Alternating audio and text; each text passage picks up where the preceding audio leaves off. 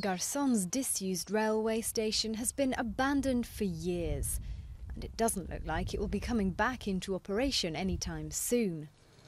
Little by little, production and cultivation in the village slowed down to the point where they sometimes even ground to a halt, as most residents moved away looking for better opportunities elsewhere. It got to the point where there was nothing in the village, and people felt they had no future. Then suddenly things started to take off, and it changed everything here. It was less than 10 years ago that the village began to enjoy this new lease of life, thanks to the fact it had become so deserted. It's impressively quiet. It's like any other village in South America, but it has a touch of class.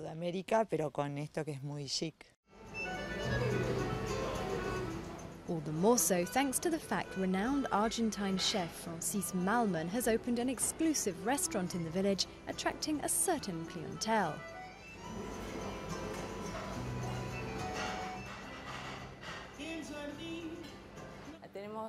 We serve up typical Argentine dishes, so it's like having a little Argentina here in Uruguay. Un poquito Argentina en otro país, en Uruguay. Most tourists come here to escape the hustle and bustle of Uruguay's busy summer beaches.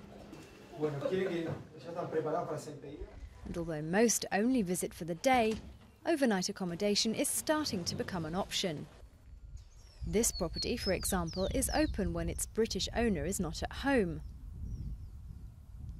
Most local residents welcome the change in the village, although some fear it could go too far. Tenemos miedo.